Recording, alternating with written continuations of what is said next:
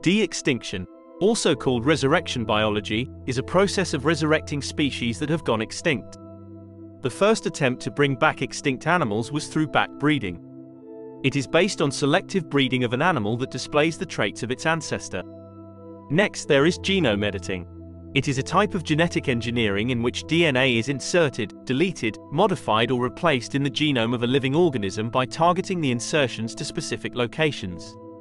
Another method is cloning, it can be done by extracting nucleus from preserved cell of the extinct species and swapping it into an egg of that species' closest living relative.